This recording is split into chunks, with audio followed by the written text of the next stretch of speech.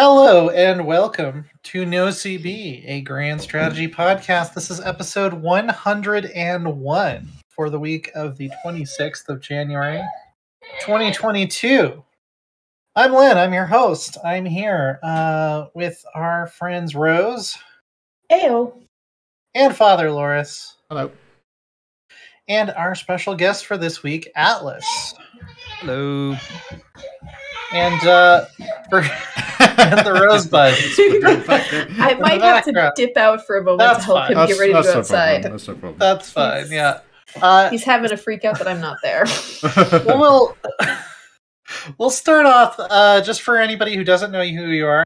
Atlas, what do you do, and how did you get into grand strategy games? Hi. Uh, so uh, my name's Atlas. Uh, I'm a generally I do uh, EU4 streaming. Uh, that's my my primary game. Um, uh, right now, I'm doing a little bit of RimWorld. We're doing like a community RimWorld playthrough with like a Twitch integration. That's been a, a lot of fun. Um, got into strategy games. I generally have played RTS. Started with Company of Heroes, and then uh, found Hearts of Iron 3 a long time ago. Uh, essentially spent hours, you know, building out all of the structures in Hearts of Iron 3 and then never actually hitting play. And uh, Uh, yeah, and then uh, this, is, this is a great order of battle. I would not want to mess it up by having to actually use it. Yeah. exactly, exactly. Yeah. Um, and then eventually found uh, EU4 and just instantly clicked, and that just became the the game that resonated most with me in terms of just you know the storytelling, nation building, all all of that, uh, and that kind of captured it. And then I'll I'll dabble across all the other Paradox titles from Stellaris to CK3, but always go back to my roots with EU. Yeah. What is the? I haven't actually like checked in on RimWorld in a while. What do they have in terms of Twitch integration now? Uh, it's actually pretty cool. Uh, like you, it's called the Twitch Toolkit, and essentially what you do is, um, as viewers are uh, interacting with chat and just watching the the stream, they get uh, a essentially a coin every two minutes, or, or some amount of coins every two minutes, and then they can use Twitch commands um, that are built into the mod. You don't have to set anything up really um, and they can like buy items, buy events, good and bad, um, Ah. that introduce into the colony. Like they can buy their own pawn into the colony, um, and they can do all kinds of crazy stuff. Like you, you got to be careful because sometimes, like uh, when we were testing it, one of my uh, mods did what we're calling the chicken bomb, where they introduced a thousand chickens, uh, which started reproducing and Ah. literally lagged Oh, out the entire game. Yeah, it was good. God, it's like cats into a Fantastic. fortress, isn't it? Yeah, yeah, yeah.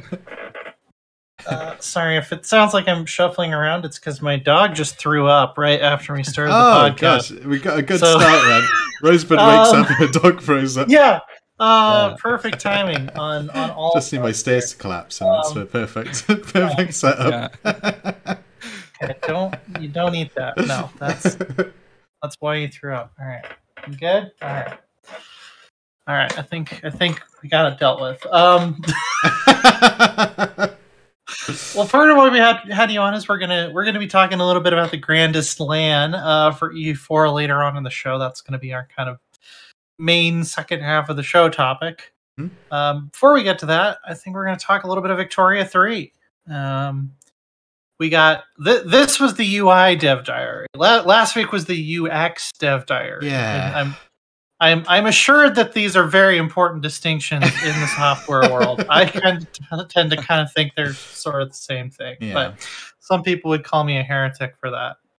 Um, yeah, I think Uh, UX just managed to leak its way onto like CVs and jargon, and now it's made its way into like the mainstream. I, I'm I'm too old fashioned to get used to it. I'm gonna call it all UI. That's my, Yeah. my stand, my last stand, the hill I will die. on. Right, UI. hill. right. Um, well, uh, as as we're taking a look at this, I know you told me before the show, Atlas, that you're pretty excited about Victoria Three. Do you have anything in particular that you're excited about, or like you have like a big plan for like what your first game is going to be? Uh, yeah. Uh, so a little bit of additional background. So I I'm entirely fascinated with economics. Um, I'm actually applying to a couple PhD programs for economics, and Oh, so, wow. yeah, Vicky three is is like my dream game, right? it's entirely economics. Um, Yeah. yeah, and and so uh, I'm really excited to see how the the market system and the the strategic diplomacy integrates in with the rest of the game. Um, and uh, I'm, that is like what is most exciting to me. And I think part of it is actually the the user interface and, and making it so that you're able to make informed decisions at that strategic level, which I don't think any game, even Victoria 2, which I love, um, I don't think any game has gotten it right yet, which uh, Paradox trying to tackle that is actually pretty phenomenal. Yeah, I mean, gosh, Vicky is clunky as hell now. I, I don't get me wrong, I do love Vicky 2's UI, and once you get used to it, it's fine. But trying to introduce new players to it, I don't know if you've ever had that experience. It's uh, it's it's always the last rung on like the the paradox ladder if you're introducing people to games. Vicky's right at the Oh, yeah. top there. Maybe Hearts of Iron Just three. hidden just- modifiers, no tooltips. yeah, it gets nothing. yeah, yeah. Uh, how do you feel about sort of? Uh, I assume you've played Victoria too, if you're into economics. Uh, the way that they're kind of trying to solve all of these weird issues with like disappearing money and like Hmm. all the money ending up in like under somebody's bed in like Burma or something like that.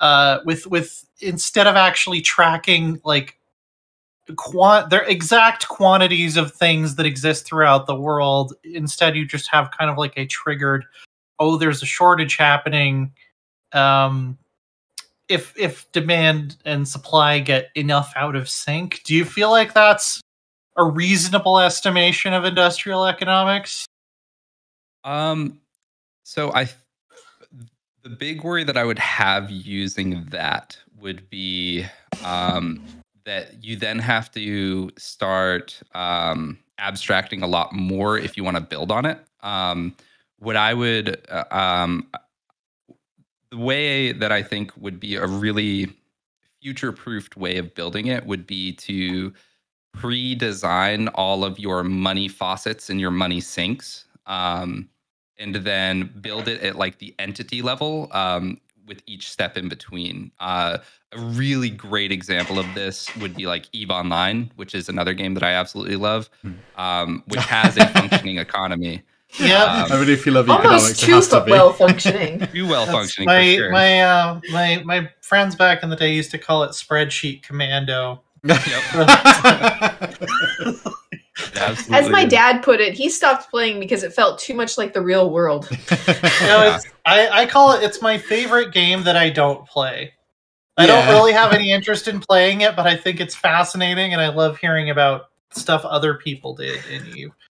Oh, yeah. all the great stories of the m- hundreds of thousands of dollars lost in a single battle. And all Yeah. that. Oh yeah. It's pretty great. yeah. um, but yeah, I kind of the way I would, if I, if I, which again, saying it is very different from implementing it. So got to give credit to Right. Paradox. To, yeah. Um, the way I would think about doing it is pre-setting what your what your extraction mechanisms are, uh, i.e., pops and. Uh, what I would say in the long run, corporations, which I think would be a really cool like DLC down the road. Oh Um, yeah. Yeah, and and essentially the way it would the way I think like a really robust world market would look is you essentially have all of your inputs which are your state level, you know, lumber yards just like in Vicky 2, all of the the what were they called? Um RGOs. RGOs. Yeah. Yeah. Um, so yeah, all of like the top line would be your RGOs, and then at the very bottom, which is extracting all of the the money from the game, are actually pops, which are consuming the goods, Yeah. as well as like the countries, which are acting as entities. Um, and then in the middle are all the markets, which I, I would say were, would be like regional, and so the entities interact with the the markets regionally, Hmm. and then all of the RGOs input into the markets regionally, and if you can control those sinks and faucets, then down the line you can do a lot with uh, where you don't have to abstract as much. And when you do want to abstract, you very easily can.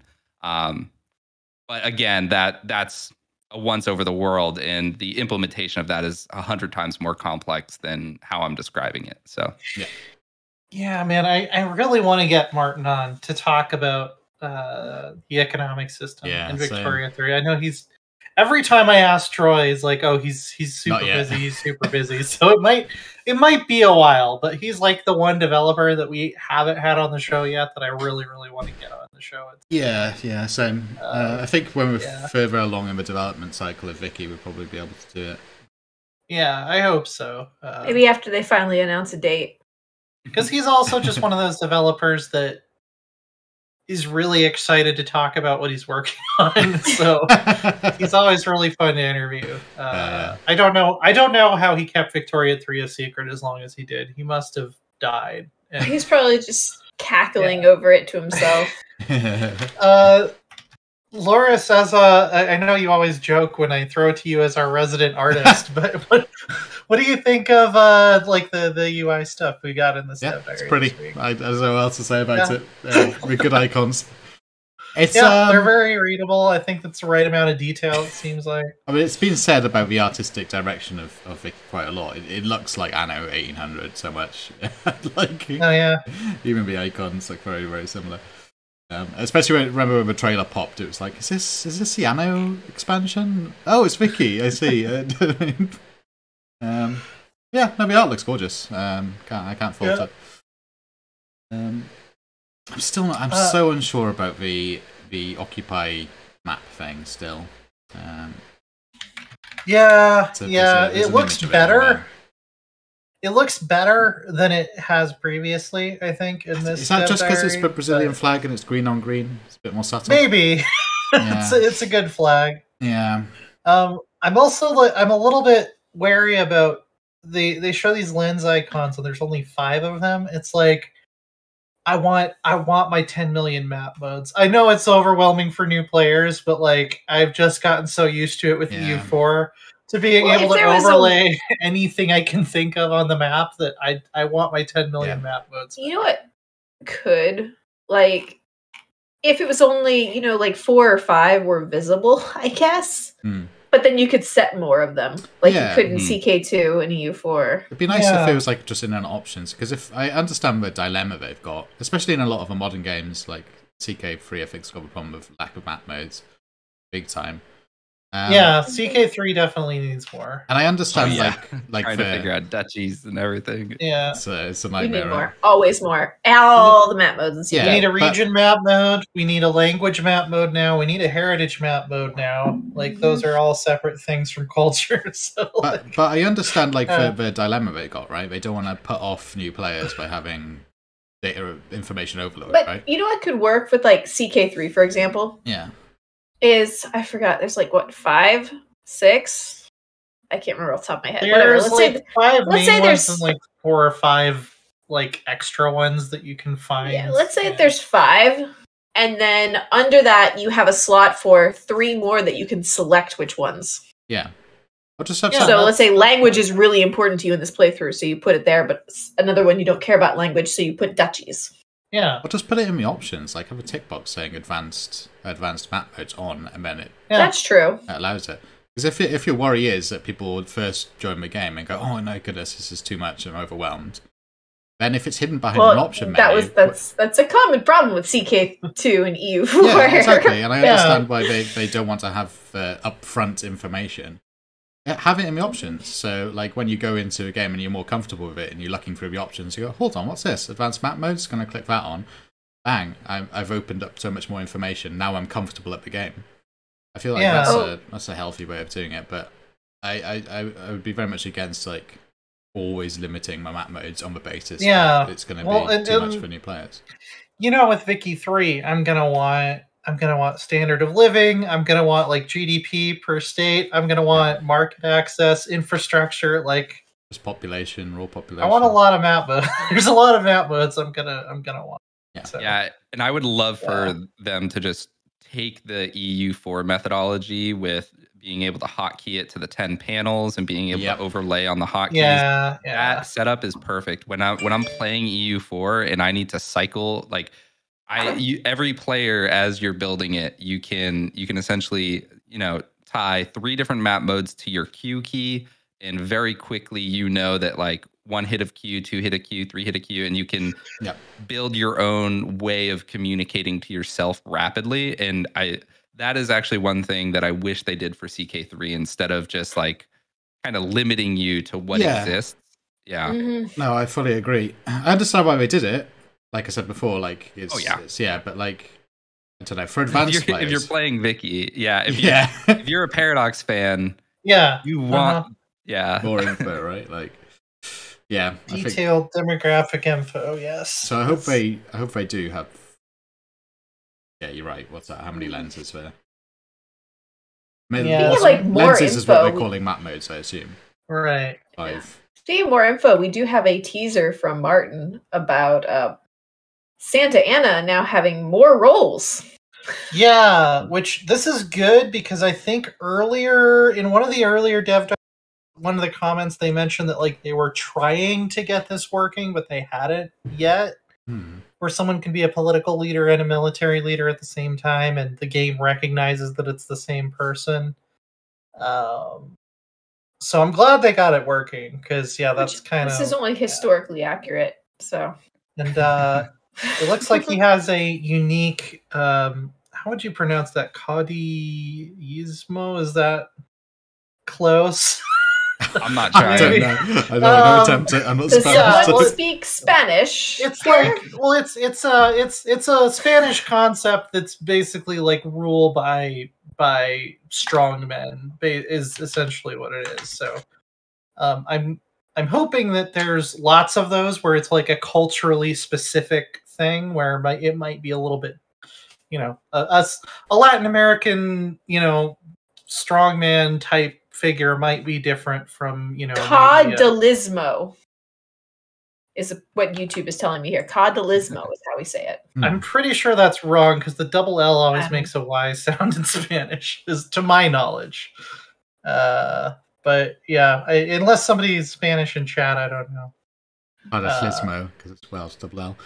Oh yeah, it's definitely yeah, it derived from the Welsh. Yeah, Yeah, yeah, I think so. If you're double Um, L. Cadiismo? Cadiismo? that's how I would guess that it's Cadiismo? pronounced. Uh. But yeah, I, again, I I took Spanish for like three years in elementary school, and I've forgotten everything except how to say the names of some veg some vegetables and animals. So Buenos Um, noches. Buenos yeah. dias.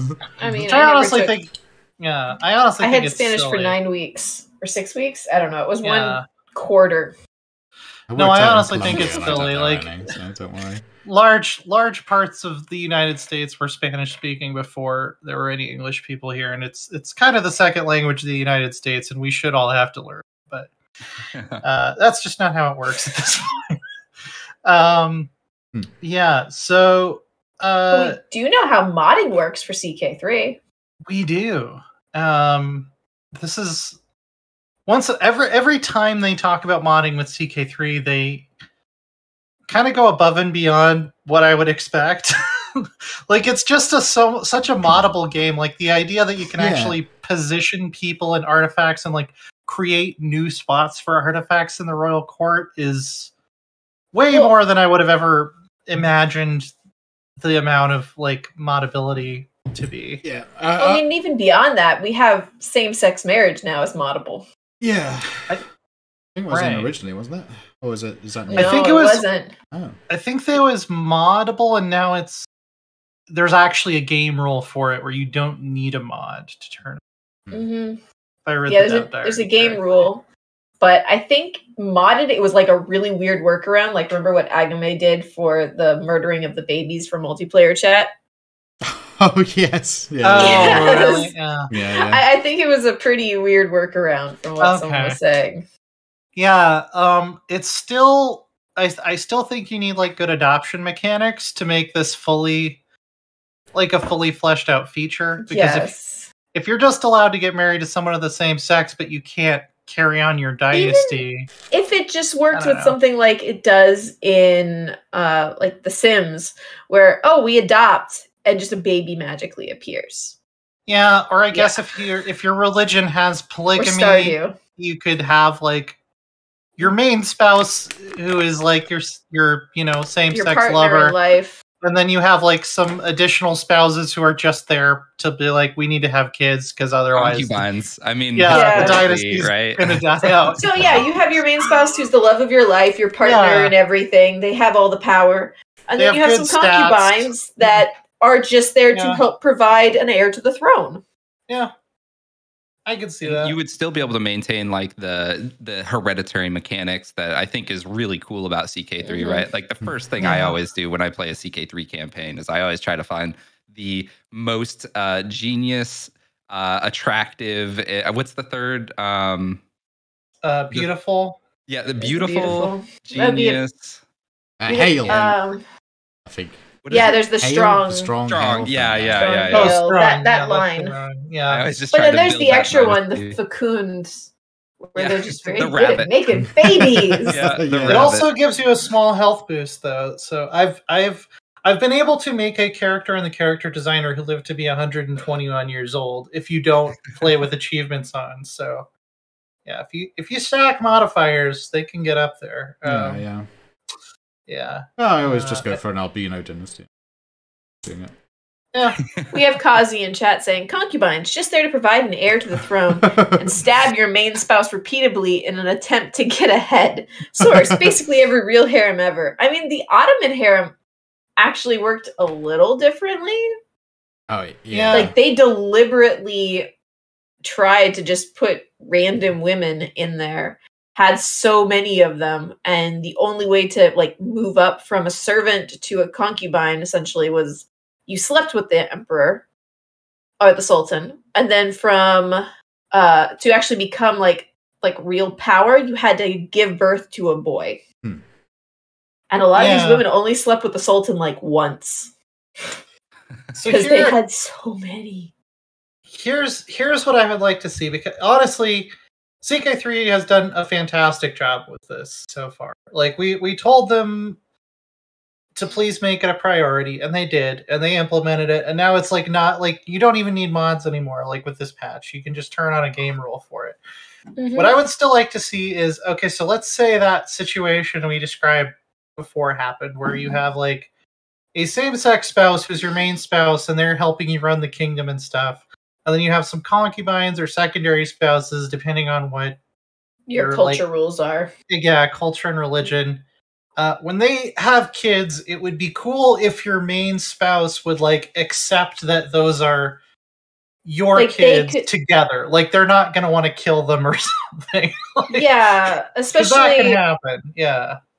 especially or even if they picked like Yeah. a favorite or two favorites. Like let's say Yeah. you had six kids and they really fell in love with the third and the sixth one and they support those two to become to get on the throne. And they'll try and kill the other kids but they want to keep those two kids alive and it could it could be uh it could be like a cultural pillar or something that's like uh you know communal family where it's like the primary spouse will always get a parent child relationship modifier with the children of their spouse or what Oh. even if it's with a different person or something like Speaking that. of which, That would be that'd I mean, be, that'd be really throwing cool to off- have a, a, a court position of favourite, like like Piers Gaveston or something. You know, something that did historically happen.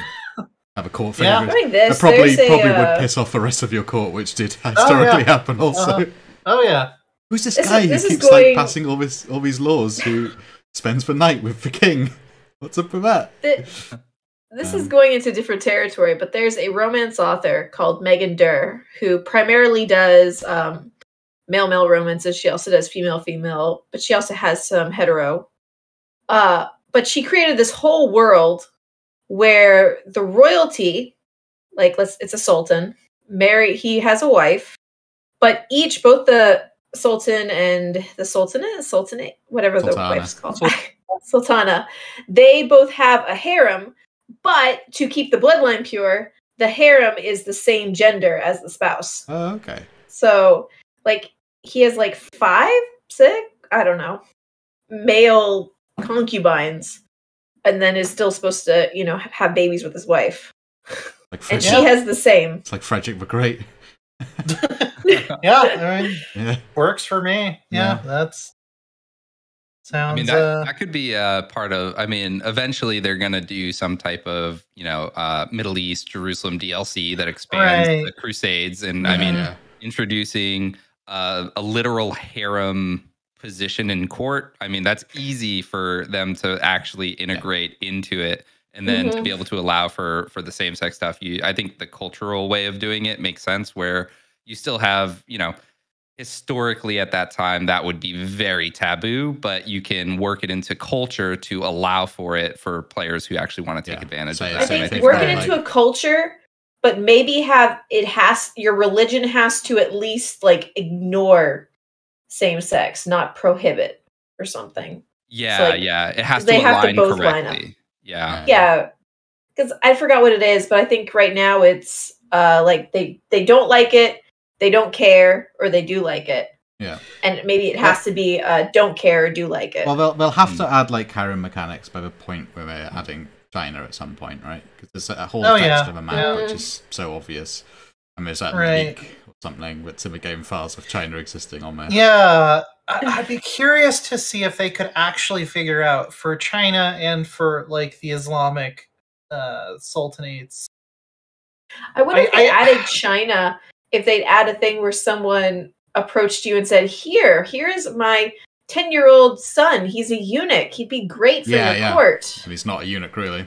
Yeah, yeah. Yeah, Well, so- or, you know, they- nine times out of 10, he is a eunuch. Yeah. And then the 10th time, you get screwed. Somebody who's not a eunuch, yeah. Someone, uh, happens, happens to have a kid who with the. Uh, that actually, that happens a lot. there recently. was a Chinese empress who, uh, her son was trying to keep her happy or out of his way or something because she was trying to control him. Yeah. He presented her with a new eunuch who wasn't really a eunuch, uh, just to keep her busy. well, famously, the famously the first emperor of China's mother uh, had a eunuch lover. Um, who wasn't a eunuch. Uh, but it didn't turn out well for them. Uh, spoilers, but like, yeah, but uh, you know, it was it was a very common thing. Um, um, yeah, speaking of, I don't know. Speaking of nothing, I guess Unity or something. Stellaris. Ascensions, Yeah. betas, and more. yeah, yeah. So it's just more of a Unity rework. Oh, wait, wait, wait, wait, wait, wait. We have to take a step back. There was the console release date for CK3 announced. Oh right. Oh, that's what it was. I was trying to figure out what that was about because I think I already knew the release date. Yeah, March 29th. Yeah. And Yeah. did they say what patch they're starting on? Because I remember with Stellaris, they started on like a really old patch initially for the I console don't release. No, see- but I mean, CK3 only has like four patches so far. Have you guys played console No. for any of the I I- can't I- imagine. No, I no, okay, you reviewed uh I reviewed the console version of Stellaris and it's actually pretty good. Um you're Yes. limited you're limited to only 600 stars, so you can't play on a thousand stars uh like you can on PC. And even on 600 the performance was kind of iffy. Um but I thought that the the controls were surprisingly good. Like Hmm. I didn't really have that much trouble you know m- uh, managing my empire. The- Yeah. the only so- interest for, would be for the Switch, but I don't think it's even on the Switch, is it? Because having a portable thing seems interesting, but I don't think it's just releasing on the Switch, is it? I don't think it's powerful think enough. so. I don't think this. I don't think the Switch could even run like Victoria 2. No, no. I don't think the Switch could run old Paradox No, games. no, was, Like, like I remember the what's it called, the City Skylines release of the Switch was apparently pretty Yeah. crap. Yeah, 'Cause 'cause it's it's only coming so- to yeah. PlayStation and Xbox for CK3. Paradox games are so CPU dependent, and the Switch just the CPU on the Switch is not that great. They're still Um, just remaking Super Mario Bros. from the Super Nintendo. So. I kind of want Stardew. I want to kind of want to switch just so I have Stardew Valley. I rebought Stardew. I rebought Stardew on the Switch. It's a perfect Switch game. Um, yeah, that's yeah, that's what I would do. Or the chocolate game that he's working on. Yeah, Yeah, like I yeah. had 150 hours in Stardew on PC, and I started over, and now I have like 200 on Switch, Switch. or something like that. So, Mhm. yeah. Um, but yeah, Stellaris. Uh, they're adding something called Planetary Ascension Tiers, which is like a new way to play tall. Yeah. which would be definitely nice in the multiplayer game I'm currently in because I made an empire that was entirely based around fast expansion, and then I got boxed in like in less than hundred years. Uh, um, it still doesn't have happens. building slots. I, they they seem really married to the current number of building slots, but it it buffs your planetary designation modifiers. So your administrative centers will be more administrative, and your forge worlds will have more forges. So, um, yeah, I mean, it's cool. Uh, it kind of seems similar to me to uh, what was the thing they added to EU4 where you can basically uh expand infrastructure i think it's called Uh, the most useless button in the world. yeah which yeah, i hardly ever use yeah. So this might be a little bit more useful than that because you don't really have much to do with unity once you're you've unlocked everything but uh, Yeah. Expand infrastructure was like the greatest idea that like when they decided to pick the final values was just completely Yeah. out of whack. To That's right. spend I, what is it, a hundred governing capacity? Yeah. I, I can't remember what it is. yeah it's a lot Just to build one extra manufactory, like you give up a tier, the equivalent of a tier two reform uh, Mhm. or a tier three reform to be able yeah to build one extra manufactory after like sixteen hundred is is just crazy. And at, at that point Yeah. where you actually have governing capacity, a you're you're probably wanting governing capacity and dumping it into that, or i mean um, the like it just doesn't matter having one extra manufacturer in a town. It's just completely completely useless. if Yeah. you're if you're playing on like a really strict self-imposed challenge like i'm not gonna expand past a certain number of provinces it can be useful which i kind of think that's maybe what it's for because like Uh, if you're playing challenge. super yeah if you're playing super tall you don't have anything to do with all that governing capacity in the late game because you have enough from tech that even if you've been deving the crap out of all of your provinces you probably are never gonna I go mean, over but Taking this back to Stellaris, we do have Yeah. zombies now. Oh yes. oh yeah Oh, yeah That's like the coolest part of the dev diary, and y'all are just like, let's jump to EU4. Oh yeah. It's a new civic for uh, Megacorps. Let's forget the zombies. Um, yeah i i have some ideas on what to do with this um but i'm not going to spoil it because I, I if my if my multiplayer group is listening to this i don't want them to know what i'm going to do um but i i have i have a very interesting idea of what to do with civic well, you'll have Uh, to tell us after you try it out. yeah Hmm. But yeah, um, basically, you get permanent employment, and uh, reassigners turn consumer goods into food or minerals, and um, yeah, and then they turn them into people, yeah. zombies. I don't know how useful Yeah. this is, but uh, I mean, it's free slave labor, I guess. yeah, but you know, you you're basically making a shit pop, aren't you?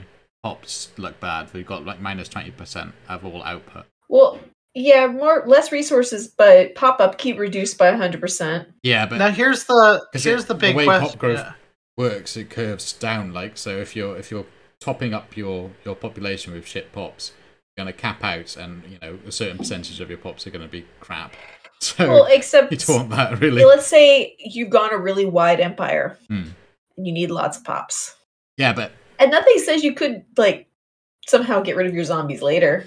yeah if you could yeah getting rid of them later on and replacing them with better pops is probably a good thing right like here's here's the other th- question i have is can you genetically modify zombies yeah yeah because that opens up would be some cool. pos- some real possibilities definitely yeah um yeah some so- uh, Back 4 Blood vibes, getting specialized zombie. Yeah. exactly uh yeah yeah that would be Oh, cool. and also starting this Monday, there's the Dev Clash starting again. Of Oh, yeah. course, yeah. yeah, yeah, So the first dev Clash we've had in years, actually, right? Haven't Uh, dev Clash in yeah. a long time. It's been a while because I mean I think they kind of stopped when you know the global pepperoni hit. We stopped before then, I think, right? I mean, like, it's been, Well, yeah, they usually did the Stellaris one in like the spring. Yeah. So it, it's been since like 2019 because they probably had one planned for 2020. Have and I had then- one since Bjorn? Uh, sorry, since uh, Blondie left. I don't think so. Oh, that was a I while think ago. they had one in 2019 though. I'm pretty sure of it. I know they had one for Imperator. it, once again time is fake and all of the last three years just blends together for me So Well, yeah, Eh, Twilight the only way I'm Zone keeping track of it It's- yeah, exactly. Yeah, two years it's Groundhog two Day. years ago at this time i was you know didn't have a kid now i've got someone outside the door going mama, mama. yeah, that's true. You probably have an easier time keeping track of it for for that reason. Um, Yeah, yeah, that for uh, Grandest Lambo, I guess. Check out that. yes and we'll Yeah. give a little bit of a dev diary first Oh, Right. yes, yeah, yeah. So the uh U4 this week is talking about how they're making the AI dumb, which is always good. Mhm. Um these fourths seem excessive, but I think they acknowledge that in the dev diary. Tweaking Uh, needs to be that's- done. It's not really efficient. You could you could lose about three of three or four of those and have basically the same uh effect, but um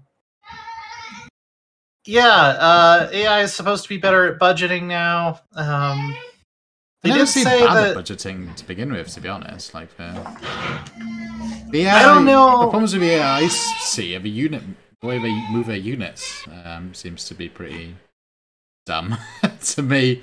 Oh yeah, Um, it always has been. Yeah. Yeah. we have Agmade in chat saying the audio cut out so it sounded like they are making ai dumb which is honestly what i thought sounded like you guys said yeah, it, they're they're making them less dumb. Uh, I, I assume that the AI will always seem somewhat dumb. because Yeah. Because it's AI, We're humans, be, yeah. and we have big brains, and we can we're smarter than a robot. innovate so, we can yeah. innovate Speak for Yeah. yourself. Except for other lords, yeah. Um, yeah. Uh, I I like almost all of the changes that I read here, except that it sounds like they're going to make more the AI use colonists more, which I already have thrown a fit about on the forums multiple times. I think colonization needs to be significantly Yeah. slowed down. We talked about that extensively last Um, week. I've still got yeah. we talked about it a lot last week so Portugal's about to be in Indonesia by 1445. Yeah. Yeah. Africa's really colonized. Yet Asia never gets touched, so it's always Yeah. it's yeah, fine. they did say they saw Portugal conquer most of India in one of the uh, Did they? overnight. Okay. Yeah, uh, one of the overnight um, Okay. hands-off games. They could make so- that more frequent. That'd be great. Yeah, I like what Hercules has said here. The thing EU4 needs to do is to pause work on EU4 and start work on E EU5. yeah. I mean, that's gonna become our motto, basically. on this Yes. Now that we've gotten I- I don't CK3 mind either and way, Vicky 3, we need E EU5. I don't mind. Like So- I, I'd be happy with more equal, but uh, if they were So on I'd- E5, I won't be. I do think they kind of buried the lead in this dev diary Uh-huh. though. Um, the changes to land combat are actually huge, by the way. For for anybody who's like really interested in like land combat mechanics. Uh, oh, and there's one. Uh, uh, I guess before going into land combat, um, there's a funny. I think this will fix it. But there's a funny Oh. phenomenon um, with Yolof. Uh, for anybody who's trying to take advantage of uh, the new like West African changes. Um, I, I've a lot of uh, viewers in my community and myself have tried to subjugate Yolof in order to get a, a vassal that can conquer all of West Africa. Uh, but we found that Yolof will not hire a military advisor, which means you can't convince Yolof to actually uh, use their own mission tree if they're your vassal, because Oh, the no. first mission in the Yolof mission tree is 100% um, 100% force limit and has a military advisor.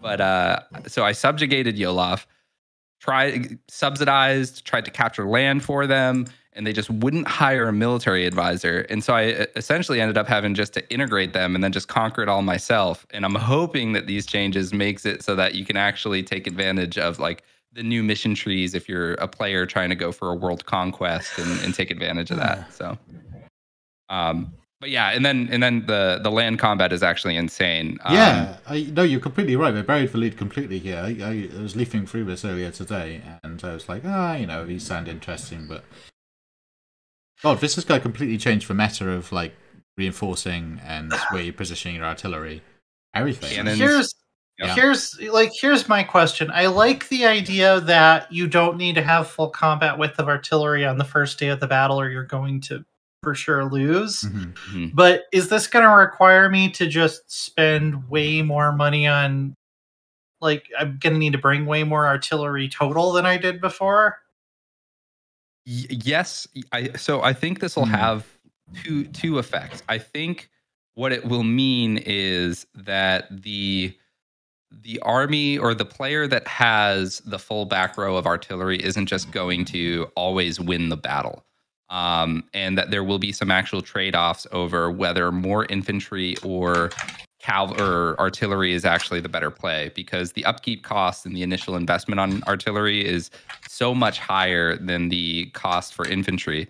So it may actually end up being the case that if you're something like a Russia with Streltsy and you just have, you know, bodies on bodies to throw at a battle, you could actually overcome the cat the artillery advantage of, you know, maybe a Spain or something like that. Yeah, so I think it actually levels the playing field for infantry centric uh, nations. Yeah, I mean, like it's not like uh, Russia is hurting for artillery either, mind right? It's like this is True, uh, straight up buff of, uh, buff of of, uh, of Russia in general. Not that Russia needs a buff. Russia's already immensely powerful in multiplayer. Yeah, Still waiting to see the Speaking cavalry, of- hoping for cavalry to be able to move along the front line. Yeah, yeah, yeah. That would be good because uh, the wasted flank potential is, is that's what was silly. Right. Hmm. I mean, it won't change the fact that you do need to micromanage your reinforcements quite a lot. hmm Maybe more so now, Yeah, actually. I think more, much more. Does this change at all, like when it makes sense to start using artillery? Like, what would you wait till a later tech level, as long as you have enough infantry to, you know, make up the difference? Well, my philosophy, Um, I don't know if you agree with this too, Atlas, is as soon as you can afford artillery, you should start using artillery. 'Cause even if you, it's always a nice. I was, I was always fire. told, like, until you get the limber, just don't bother. Yeah, Miltech, Miltech 13, I believe. Yeah. Um, so it, there's a couple. There's a couple. My my normal strategy, especially in single player, where you can kind of predict what the AI is going to do, is to just do a um, whatever the in, whatever the AI has as their frontline combat with. If they have like a 20 stack, Yep. you then just do that much infantry with four cavalry on the side. Um, and then your cannons, if you can afford it, you fill your backline with cannons if possible. But generally, you're going for like five cannons in an army just for the siege, on the siege, yeah. capital for a level one Mm, fort. okay. Um, unless you're Spain. If you're Spain, you should always just have uh, cannons from the start. If you can afford a cannon in Spain, because Spain is the only country in the game that gets a plus one to their cannon pip fire, means that um, Spain actually starts out with cannons that are twice as powerful of, as every other country in the game. Yeah. Oh, I did not know that. Uh, no, I think there's a Russian minor, but obviously no one plays that. I think also gets the, the cannon pip, I believe. Oh, Uh, yep, yeah, yeah, yeah. Yeah. Uh, obviously, they died pretty quickly. Yeah. Unless you're playing them. um, yeah. Well, how do you think? Uh, how do you think these changes would have how would have uh, changed how the Grandest Land played? Ooh, um, You should re- see. should remind us who you played first. Yeah, yeah, yeah. Oh, yeah. Uh, so uh, myself and, and two others, one who's a streamer, Realms Deep. Uh, uh, we played. At, we started as Novgorod um, as part of the the Traders League, uh, and then we eventually formed uh, Russia. And between days, so on day one, we managed to form Russia at the very end of the the session, and between days, we actually talked to the um, the admins of the event, and we actually asked to switch to the Monarchist League because we were now Russia, and you know, in our own storytelling. yeah, we just figured it would be kind of funny to, you know, now we have a, a king on the throne. We're no longer Novgorod, so we should probably join the Monarchist League. Yeah. Um, and uh, yeah, uh, that was a lot of fun because we got attacked. Almost every war we fought was actually a defensive war because I, just like historically, everybody is worried about Russia, and so we were usually getting no CB'd by random people. is yes, that. Um, I think I remember that happening a number of times. Yeah. Yeah, It's quite hard. and you one. guys marched troops a number of times all the way down to Egypt. Yes, yes. We uh so actually that uh on on day two, especially near the end, we were just looking for as many fights as we could because the event was almost over. So we were ready just to throw Russian Russian troops at, at every theater of war, uh, which was a lot of fun. That honestly, if if anybody's ever playing a multiplayer and you get the chance to play Russia, you pretty much have unlimited manpower Yeah. and you can just just throw bodies at the problem. It's, and it's Russia hilarious. is so powerful. It's crazy. You you it's a Yeah. combination of like you have basically Judge Dredge missionaries if you take religious ideas and you just bang. Yeah. You, you look at you Yep. look at a Catholic and he, Yeah. and he instantly wilts towards the Great Patriarch. And then um, Yep. and also you've got great development thing, although that got nerfed, I believe, um, with the Cossacks. Um, development cost reductions in steps, which is amazing. And like you said, immense manpower reserves, both from the Cossacks uh, and also you can just pull Strelts up your ass, from your ass, really, can't you? It's like, bang, I've got a million troops. They all Yeah, I love- nowhere. I love Streltsy. That's I love You- Streltsy so much. Yeah. Well, You the guys funniest just sat on money too, from what I remember. Because remember we discussed that a lot, Mordred and I. Yeah, we okay. So it was a little bit. We we felt we had to. Um, so early on, we expected uh, the Livonian Order to declare on us. Um, when we were doing the pregame, so I was the diplomat of our team. Um, so I was usually trying to to wheel and deal. We had uh, Squazzle, who was actually doing the management, and then Realms Deep, who was looking at it from a strategic standpoint and essentially like giving us because I don't for anybody who has seen a Realms Deep stream, he's one of I, I would say one of the top EU4 players uh, out there in terms of his game knowledge and just skill. Um, and so he was essentially uh, just planning everything out and, and helping Squazzle with managing the country. And uh, to have a decisive win, we very regularly knew we would have to go very high over our force limit so that uh, as Russia, we could spread out across a front and overwhelm them. Uh, because in a protracted war, we would lose battles um, if we if we just kept throwing bodies at the problem in individual fights. And so That sounds like historical Russia. yeah, exactly. And so our whole plan was to widen the front as as wide as possible, um, so that we could push along the entire front, so that something like a Prussia, which wants you know individual battles that they can just stack wipe on, couldn't couldn't maintain a front that that wide. And so we had to always have a very large war chest so that we could probably go, you know, 30 regiments over our force limit in order to to Oh, widen the front wow. out as much as possible. Yeah. I'm always I'm afraid of even going one regiment over my force limit. Yeah. I'm just that kind of player.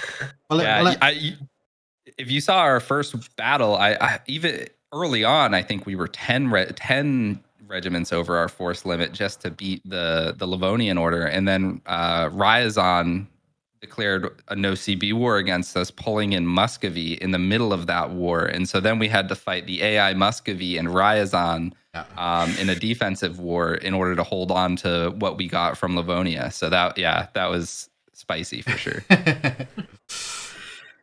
Yeah, I haven't played in a big EU4 multiplayer in a long time. I, I miss we used to have a, a group with uh, some other journalists and uh, some of the three moves ahead patrons, but man, it's like it's like running a D&D game as an adult, like to get the same people back every week at the same time sessions, Yeah, it's and so difficult. to- I yeah. think I think just like D and D, um, you have to make sure that every player who's playing the game is on the same page for the experience they want. Yeah. Right, 'Cause right. You might have some new players that want to do something a little more role play uh, or a little Yeah. less, uh, you know, win everything. And then you have the players that are just, you know, multiplayer meta. I'm going to, you know, bankrupt myself because I know the game's mechanics and I'm just going to, yeah. And if you have those two types of players in the same mash. game, then yeah, Someone's it- not going to have fun. right. Yep. Yeah, we ran into that issue with one of the CK t- or CK3 multiplayer games I was in, I think, where basically we all we started too close together, I think, and basically the the more experienced players blocked off the less experienced players from really being able to expand because we Mhm. were just blobbing everywhere and like we never conquered them or anything, but it's like Yeah. they had a player on all sides that they couldn't beat, and you know I think might make more sense if we do that type of game again to like say okay everybody has a region like maybe one de jure empire that's like that's kind of set aside for you and then we can have little border wars and stuff or something What Mhm. I had to do when Yeah. running multiplayer games for my uh, subscribers and stuff back when I, you know, had more time to stream.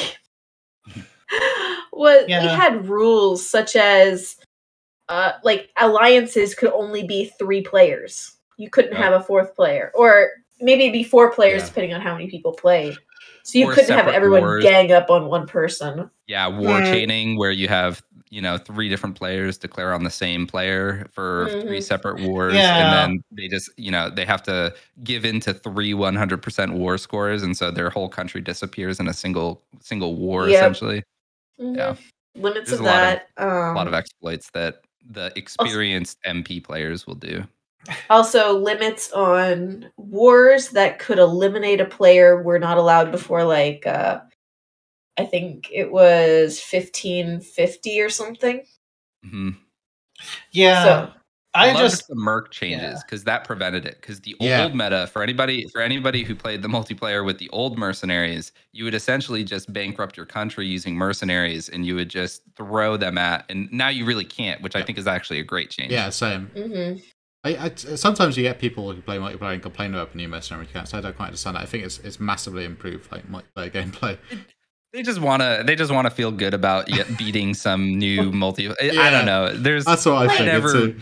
yeah. Yeah, my I mean my philo- whole philosophy with multiplayer is like I'm never I'm never going to take someone's last province. Like I mean I guess if it was like a competitive thing where we all had a goal that would be different, but it's like I'm at least going to keep you around as like a personal union partner or a vassal or something. Like, Actually, uh, a really interesting thing Mordred Viking ran a multiplayer game, and one day he had me sit in to host because something came up with work or Yeah. whatever. But everyone had a secret goal for their nation. Uh-huh. Yeah. I love and that. no one yeah. knew what the other person's goal was. And some That's of those really goals cool. conflicted with other people's, but no one knew. And so you had people that were like working together for a hundred years Yeah. towards the towards their own goals, and then they realized that their goals did not match. One of my favorite games of all time is the Battlestar Galactica board game from Fantasy Flight, um, which is like the humans have a goal and then the Cylons have a goal. But then in the expansion, they had added in like special Cylons where like they have their where they might they might need the humans to win for them to win, but then they also have to do some other secondary thing too, or they need neither side to win. And I love stuff like that where it's Mm. like I'm, I because it's it's if everybody's just playing okay standard EU4 you know get as big as possible, get as many victory cards as possible, whatever. It's too easy to predict what they're going to do. Whereas if you Hmm. don't know what they're working towards, I think that makes it a lot more interesting. I don't think I know anyone who plays with victory cards or cares about victory cards or a score. To be Yeah, honest, yeah, I, I I never pay attention to it. Ah. yeah, my I, my I, sort of like rule. Yeah, or go ahead. Yeah, I, I feel like the victory cards were basically added for an internal game that they wanted to play years ago, and and I- that was it basically. I think they were added. I think they were added by Johan Pat at the hug boxes in the Dev Clash. Yeah. Honestly, yeah. like he wanted to create more incentive for you to break up your hug box. Well, that was that's always the Um, hardest thing about yeah, orchestrating a, a big multiplayer E4 game is, is stopping hug boxes. right. Um, one good Mhm. thing I do Which I is think was like the stop anyone who doesn't have a European culture from colonizing, which stops one of the big problems, which is Asian blobs and African blobs. Yeah, just Ming starting off as the most powerful country in the game, and then Yeah. just Right. snowballing that into just Or the superpower. worse, worse than Ming is is Malaya, uh, who you know as soon as they get one colonist, they got they got uh, un- uncolonized provinces next to them that have like you know twelve dev Yup. or something and really valuable trade goods uh, to boot. So Mhm. um, nice spicy islands. yeah, they've got pretty big, good, powerful Which ideas. that's too. one thing you have to do with multiplayer though. You have to either make a rule that everyone has to pick a major power or everyone is in small powers Hmm. to sort of make it even. Or if you're doing like 50-50, you could do a game where everyone like someone who's playing Great Britain they're pa- they're partnered with someone playing Ulm or something, you know. Yeah. So Yeah. you and maybe there's their goal would be, oh, Great Britain has to prosper, but they have to make sure that Ulm takes over the continent or something. Yeah, the way we usually did it for the multiplayers that I hosted, used to host um, a couple of years ago, was um, the more experienced players in the community. uh, First, I would find the players that were way too try hard and like make sure that they're not on like a Poland or a Yeah, Uh, a, a Prussia or, or a Brandenburg or something like that.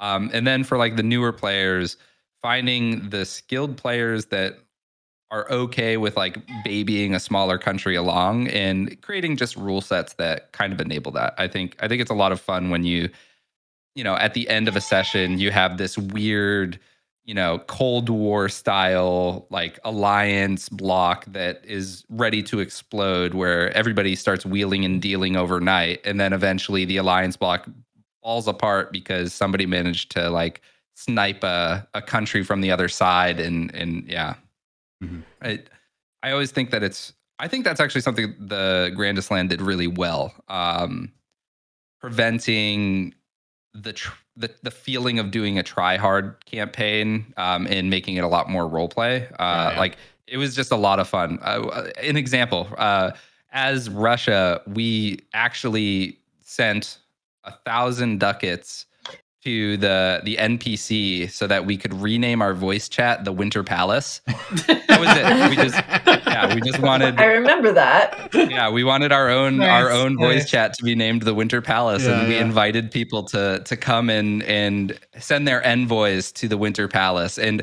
every other player stopped in at one point and was like, "How do we get this?" And it was just great. It was a lot of fun.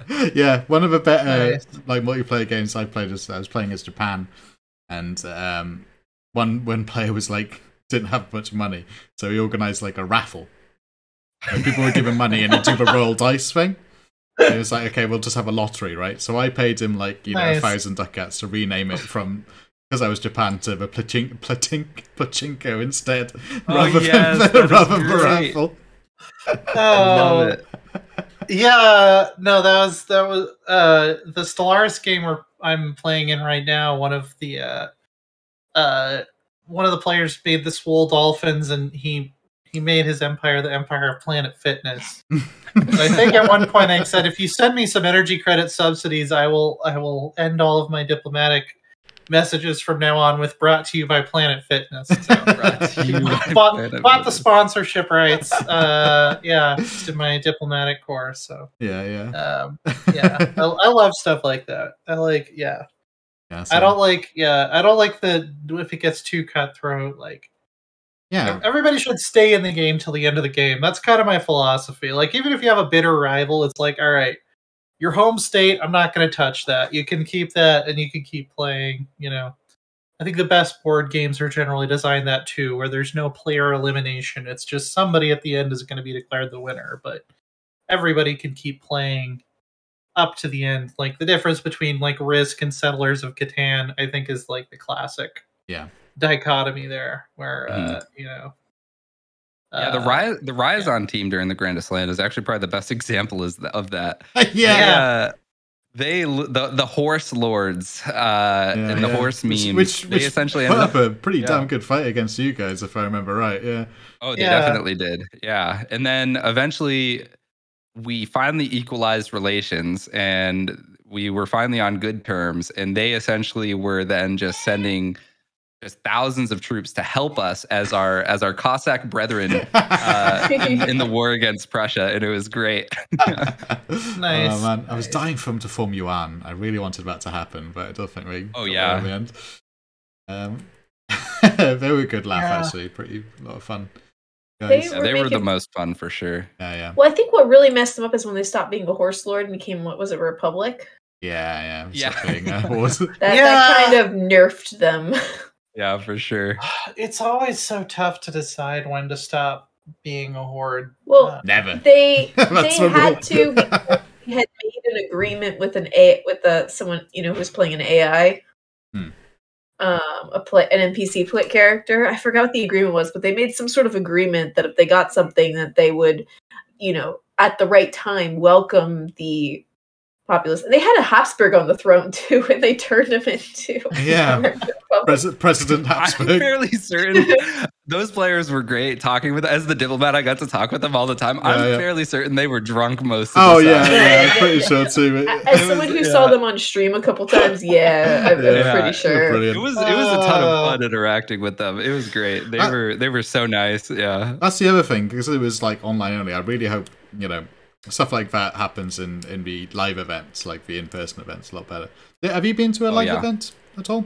No, this was actually this was my first grandest land, and I can 100% say that like if if I'm because they do it they do a little like lottery where everybody signs up, and then they Hmm. if I'm lucky enough to be uh, selected again, 100%, especially if it's in person. Yeah, yeah. The virtual grandest LAN was so much fun. I can't even imagine being in person, and actually being able Yeah, to yeah. talk with people. A bit Yeah. more messy. It's a lot of more cheap Polish Polish snaps going around. Um, so- I, I, I, I do think that they should kind of merge them in the future. Like some of the facts, some of the things that were done digitally, such as the um, oh, what? Not the proclamations. What were they called?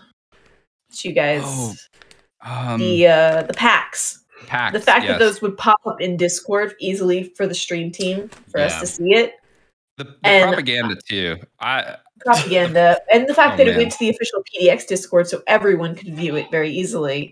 yeah. when compared to like the uh, in-person LAN the propaganda is like hey i made a picture hold it up to the screen you know what they should do? I They was- should like have an oil painting canvas for people to do it, like actual uh, Yeah. and then the oil packs paintings.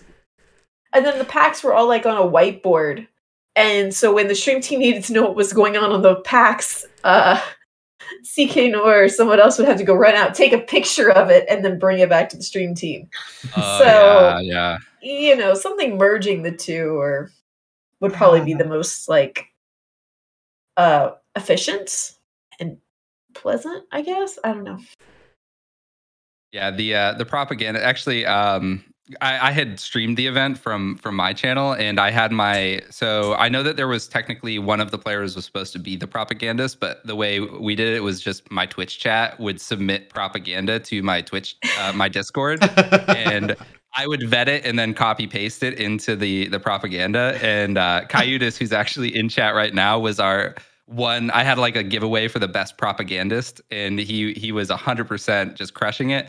Um, I got my wrist slapped once because we did one propaganda that was a little too current of any with uh, with Oh. Ukraine, but uh, quickly uh, fixed that one. But yeah, the the Russia propaganda was was great. Yeah.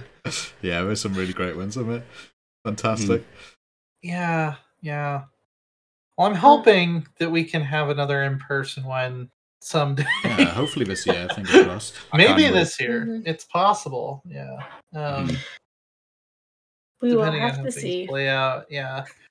Uh, where can people go if they want more info on that, though? On Or- You mean for the Island. LAN party Uh, yeah, like uh, there, I'm They- assuming there's an archive as well. Oh yeah, um like so if you Is go it on to Paradox Extra or? so it's the hold on i will pull it up I If you- should have if- I've been- if you if you launch about the head of EU4, it's uh, it's linked on the launcher actually, uh, unless it's Oh, that's updated right. Um, but it's on the it's on Mhm. the YouTube channel. I believe uh, Paradox Strategy. yeah it's Long there's game short stunts a and edits. whoa Yeah, Paradox Grand Strategy. It's not Paradox Extra. There's like five Paradox. Yeah, YouTube Paradox Grand. Strategy, and there is a playlist. There it is. I will link the playlist in chat. Yep. There we go. It is up to episode 12, and the beautiful artwork is done by your by uh, our lovely Father Lorris here. Yep. And the episodes are edited by Agamede, also known as Long Game Nice. Short. Yeah, yeah. And we're aiming for an episode every three days, roughly. Mm-hmm. And it, yeah, it doesn't look like they've announced anything about this year's. uh, No, So, well, no. it was. It's usually in November, December. Yeah, and I would imagine they're probably like you know trying to decide: is it going to be a physical event this year? Is it? Well, gonna that's the thing, you be can't really- online again? Can't really yeah. predict it too well. It's like I like Gamescom, that- just like edging. Oh, is it going to be a live Gamescom this year? Live Yeah. Gamescom this year, and then like, they, oh fuck, it's virtual one. Yeah, Yeah. So the live or so the the one last year, I think they announced it in like October. Because I know it was October when I was approached about possibly casting it. Okay. Yeah. Yeah. So it'll probably be a while before we hear it. Mhm. But uh, Probably Yeah. holding holding out, hoping. excellent. Yeah. Um, so yeah, you can go watch those as they they go up on YouTube. But uh, aside from that, Or you can watch the entire uh, Yeah, I think it's still. I think twenty it's still four on hours Twitch, worth of. Twitch VODs. yeah, yeah. Unedited. So. Wow. Unedited. Yeah, um, the the, the best. So I'm PST time zone. So for me, I can't remember what the time was, but it, it was. I think we started at midnight my time. Each Oh, session. goodness. oh wow, It's Um, like 3 a.m. here on the East Coast. So yeah, You wouldn't Yeah. even need to really drink. You would just be punchy from. Oh, I was so punchy. I, deprivation. I was just sitting there so overtired and, and sleep schedule so messed up that uh, Yeah. yeah. it was great. I was mostly just that's why I w- I- never once touched our country's management. It was entirely the other two. All I did was just talk to people and try and convince the the mods to give us the Winter Yeah. Palace. Like that Nice. was all I So- did. Yeah. that's interesting because I also approached uh, Helms Deep about coming onto the podcast as well, and he said, "Oh, I would love that, but I actually didn't contribute much to my team. I'm sure our team leader Atlas would love to talk though." Yeah, yeah, yeah. He's he's uh so Squazzle did all of the actual button clicking, uh, but Oh, interesting. Realms. Okay. yeah, Realms was there the whole time, like talking Backseat with. Squazzle. Yeah, he was he was backseating in the most positive way. Yeah, yeah, yeah. Um, like and then they uh, would just like a rally Yeah. driver has the uh, fellow with a map next to him. I guess that's a yeah. Yeah, it- it actually for for anybody who ever thinks like the diplomat is boring um it's actually the best right because poor squazzle who had to like manage the country and keep it alive yeah, yeah. would like build this massive war chest and then i would come back from a like a diplomatic meeting and i'd be like all right we're declaring war on three people and he'd just be like but I just, got rid of all of our devastation. And so like I got to just have as much fun as I wanted, just declaring wars and building alliances. And then he had to suffer the consequences of every bad decision I made. So it was great. It was Yeah. a 10 out of 10. Oh, you'll definitely have to come to a live event then, because like in a in in the castle, it was funny to see all the. Me, uh, funny to see all the diplomats wheeling and dealing like in weird nooks and crannies. Like I was just, I went like, Yeah, because I'm sat I at the love that computer drawing all day, basically at the, at the event, and then I was like, okay, I'll, I'll stand up, I'll stretch my legs, explore the castle. I was walking around, and there was an area that was like a spa, and it was closed for winter. I was like, you know what, it's going to be quiet down here. I'll go down there. I was like looking around the corners. I found like two, two, two diplomats conspiring in this like broken down old Polish spa, looking at me Yep. like, "Who are you? What, who are you playing? How dare you come in here? It's Yeah. a private meeting." So like I'm No, just I drawing stuff. I I, swear. I love that aspect of it where it would be like, oh, I saw so and so talking to so and so. They must be ta- discussing a secret alliance. yeah, yeah, the Like that, paranoia yeah. setting in there. Yeah, Yeah, I, I, I totally want instead of uh, next time instead of having uh, having them have have someone run with their phone and take a picture of the whiteboard, I want them to be able to cut over to like a Charlie from Always Sunny conspiracy board Yeah. with like yarn Conspiracy board. connecting flags and like just make him like seem completely unhinged talking about all the plotting and alliances that are going on. That Yeah, would that yeah. would be awesome. That definitely did Uh, happen on the online though, because you could see who was in individual voice channels, right? Oh, So, yeah. like, we would, like we would see like uh uh Poland, who was our ally for the first day. We would see like Poland talking to Georgia, and we would just be like, hmm, what's what's happening over there? Yeah. yeah, yeah. Yeah. That was a lot of fun. Well, Well, I remember there was one country just hung out in Father Lorris's chat. Oh yeah, Songhai. Yeah, very good laugh. Very good laugh. A No, no, that was um that was Livonia. They're the ones that we had to kill because That's they right, right, yeah, yeah. us at, at the start of the game. That's Yeah, right. And we yeah. hopped into Africa, and it was like, oh, we're just gonna chill now. Yep. Yep. Um, well, other than the Grandest LAN, uh, what kind of uh, stuff do you usually do? Uh, series running right now? Um, yeah. Uh, so uh, right now for EU4, I'm in the middle of an Austria one culture one tag um, on very hard. So that's uh, I took a little bit of break because it it's so tedious that you kind of burn out between sessions a little bit because one eight hour six hour session you advance like 10 years in the game yeah, yeah. um, and then right now, what I'm having most fun with is is RimWorld. Like I talked about, uh, we're building a, a uh, we, we're calling it the Holy Thrumban Empire for anybody who plays RimWorld. The, the Thrumbos are this animal in the game that's uh, like this super big dinosaur looking horn, thing. right? That's the Yeah, horn yeah. one. Yeah. So we built a colony that's uh, that's entirely geared on worshipping Thrumbos, and uh, that's just yeah. and we're just building a little little space colony in RimWorld. It's a lot of fun. I, I, I, Awesome. I gotta take this opportunity to evangelicalize uh, Anbennar. I don't know if you played much of that. If you ever feel Anbennar, burnt no. out, oh, it's a fantastic. Anbennar game. is Oh my word! Yeah, He hasn't yeah. heard of Anbennar. Yeah, a- it- okay, you have to look Good this thing up. It's, Lambert's not here. it's a it's a wonderful mod for EU4. And if you ever feel a little bit burnt out by EU4 and you need a bit of a refresher, Anbennar. I, I can't play without Think Anbennar. now, Lord of the. Rings in its own universe in EU4. Yeah, I yeah. saw Roomba playing some of that. Yeah, actually, that's that looked like a lot. Where you could have like the dwarves like in their own little like Yeah, yeah. corridors. Yeah, They I think this actually dwarf is like a brand new game. Basically, it's more about like debting Yeah. up your capital and digging your hole deep.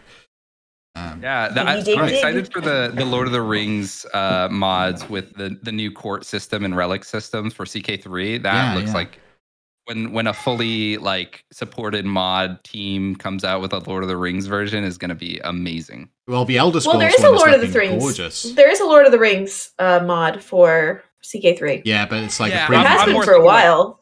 Yeah, I checked I'm- it out a few months ago. It was Yeah. really good. That's, Hmm. that's it was a preview build I think we released, right? It was not all in Uh, yet. Yeah, no, they, you could only play as a couple countries. Yeah, Yeah, Um, when it's it had some very out, it'd be basic great. stuff, but it was pretty cool. Yeah. I just can't wait because mod teams take a little while because it's so detailed. But once it's once the whole Lord of the Rings world is built, I'd be so excited to play that for Yeah, CK3. yeah, same. I still love the uh, Lord of the Rings medieval two mods. If you ever, oh, uh, that like, was a great Total War. mod. If you ever played any of that, very good. Back in the day, back in the day, Warcraft 3's Lord of the Rings Risk. Yeah. Oh, yeah. yeah, yeah, Oh, yeah, yeah. That's right. I I yeah. countless hours playing that. Yeah. I I actually had it wasn't a Lord of the Rings one, but I worked on one of the the risk maps for uh, for Warcraft three.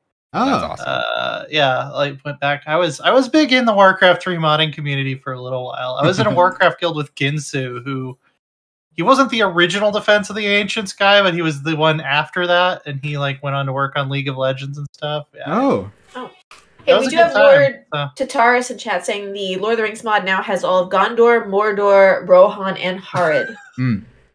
With some That is really, great. Oh, some nice, really great nice. units. Like um, the, the character models are great. Yeah. That's awesome. much much like the Elder uh, King. So there's, uh, there's some great previews. We should have a podcast at some point talking about some of the amazing mods that are coming out. Kaiserreich is updated Mhm. just recently. yeah. I haven't even tried the new Kaiserreich update either. There's there's So, many, good games to play. I know, yeah, yeah. Games, so little Uh, time. There's War, yeah, And- Warhammer also next oh, like Right. two weeks, Oh, three man. weeks. February is going to be crazy because yeah, it's Royal Court, it's Warhammer Three, Yeah. uh, Elden Ring. I'm also super excited for, even though it's not strategy related. But Yeah, um, yeah, uh, uh, Atlas, where can people find you if they want to watch your stuff? Um, yeah, so on Twitch, uh, it's x atlas underscore gg. Um, sadly, with everything, I can never get the atlas handle, so I have to add things to the front and back in order to get it to work. a random number four on the back of your name. It's what I did. Oh, I tried. One through ten were picked. Oh yeah, there were there were a million. But um, yeah, fucking- I'll, I'll, I'll just copy paste in, in chat to make it a little easier. It's fucking Greek No, stealing I've your username all the Twat time. chat like- and your Thank you so Twitter. much. Thank you so much. All right, Leana, what are you up to? Um, I am. I can't say. I could say it's relevant to. it's very relevant to people who watch this or listen to this show. Um, Editing but I the show. can't talk about it. yeah. Uh, I'm working on a review uh, for an expansion of a strategy game. That's all I'll say. Uh, yeah, looking forward to Warhammer Three. I got. I think I mentioned last week. I got to do a preview of that, which is uh, which which you can all read on IGN. And um, Oh, I've got uh, one question which I forgot to ask actually. Yeah. There's a lot of previews now. It's uh, the NDA's dropped Uh-huh. for two of the things, but uh, the way the corruption works now. yeah, so even some of the YouTube videos I've seen don't seem to understand how this works. Hmm. I think Legend of Total War said the great game just seems to be random. It's Yeah. not. Yeah. It's based on which god has the most provinces where their type of corruption is dominant, Yeah. meaning your corruption is higher than any of the other uh, gods' corruption. So you can affect it. Yeah, that's what Um, that's what I thought because there's yeah. a few people saying different things about. I mean, that. that's how it should work, at least. Uh, I'm not sure if maybe it's bugged right now, but yeah, that's that's how it's supposed to work. Is you want to make your corruption the highest chaos corruption in all chaos corrupted provinces, and then you become the leader in in the great game. And like as as Uh, like a dedicated map yeah. painter, like um, making things look Yeah. pretty. That's that's how I play these strategy games, I guess. But corruption, how does it affect visually on a map? Because no one seems to have mentioned that. Because before, I didn't play. I didn't play long enough to really see if like provinces get really nurgly if you spread Yeah, that's what I was nurgle, or they get if they get a bit sneaky if you spread. Yeah, yeah, corny. I, I will say I, I like. I don't really like the visual style of the Warhammer Three map compared to Warhammer Two. I liked the little bit more realistic, grounded, gritty look of the map in Warhammer 2. There's some comparison screenshots up on Reddit kind of showing the difference in art style. If they did it for performance reasons, like that's fair game. I'm totally cool with that. Um, but as a stylistic choice, yeah, uh, I kind of liked the Borderland Empires map better. I know. I, I, personally. yeah, I like the wackiness. I like the over the top wildness. I mean, the That's- wackiness is cool. It just it looks less detailed to me. Like if you look Ah. at the ground textures, it looks yeah. Oh, probably. So- Yeah, yeah. I haven't had a good chance to like obviously zoom into the map too much. So, Yeah. yeah. Um Yeah. Uh All right. So, Father Lorris, aside from uh, starting new humankind meme things, Oh yeah, what yeah. are you up to? I finished a load of stuff for humankind. Was uh, they did the I don't know if a few years ago they did the sort of uh, meme generator. Um, they're doing a a uh, load of new stuff actually. Um, so keep a chance like an eye on their social media channels because they've been making loads of cool announcements. Um, they obviously got the expansion, uh, African uh, cultures, um, which is cool. So I've been doing some work for them. I've also been doing thumbnails and just doing bits and bobs here and there. nice. What about you, Rose? What have you been up to? I have been playing some Humankind, the new African uh, DLC, which is pretty cool, having the new cultures. Which of Things the which of the cultures have you tried out so far? Uh, so far I've gotten up to the second age. Okay. not, not very far. I restarted a few times. Yeah, Um, as you do. Yep. And then on top of that, what else? Um, I've been playing some Going Medieval because they just did a huge update for that game. Oh, Um, That's it's still in the Rimworld-esque, isn't it? experimental patch, Hmm. but you can actually change buildings, so you can make your walls corners rounded now. Oh, that's um, your floor tiles, you if you're using them as like pathways and stuff, you can put borders on them. Um, oh, all sorts of stuff, and they're oh, they also added seeds and apple orchards, like more trees that you can grow, yeah. It's a, Um, it's a bit then- of a and bees. bit of a golden age now for city builder slash rimworldy type things. Obviously, Yes. get It really is. Yeah, there's there's a Mhm. lot of them the out Dwarf. Fortress stuff. Timberborn, I've really enjoyed. We had a update long ago. hmm Waiting for. Thing is, a lot of these things are in early access, and I'm one of these people who plays it when it comes out of early access, and then waits until it's completed. so it'll be like a four-year Well, I mean, wait there's- until I carry on playing. There's it, some things like Prison Architect was in early access for like ten years. Yeah, yeah. Yeah. Oh, that was Or, one of uh, those. And she was And it, the PDX anybody's- file. Yeah, gosh, that was that. Yeah. I mean, that's like 15 years, I think. Jeez. I yeah, I I got it when it first came out on early access when it was literally just like I don't know, like 40 polygons and like uh, yeah, like a model that just kind of like waddles while it walks. And, Yeah, yeah. yeah, yeah. I I- I've been meaning to try that because a lot of people have told me I would love it and that it's exactly my type of game. And I just look at it, and it's like it looks so bad. But that's also what I said about Crusader Kings 2, and it became my Yeah. favorite game of all time. Dwarf Fortress so, is like don't one of my favorite games of all time. And you know, that Yeah, ass. yeah. So. Well, Dwarf Fortress is getting a UI and coming to Steam. Yeah, yeah. Yeah. Probably soon. sometime in the next 20 years Exactly. at the rate it's going. Someday. Well, I yeah. believe the project's yeah, it's coming along pretty well, but there was some problem with copyrights. I mean, I had to redo a lot of the art assets, so it's probably a bit. Late. Oh, really? I I hadn't heard about that. But that makes sense. Yeah. Well, uh, as always, you can follow the podcast. We're no CB cast, basically everywhere: Twitch, Twitter, YouTube. Uh, Yep. And I don't think we have an Instagram. no.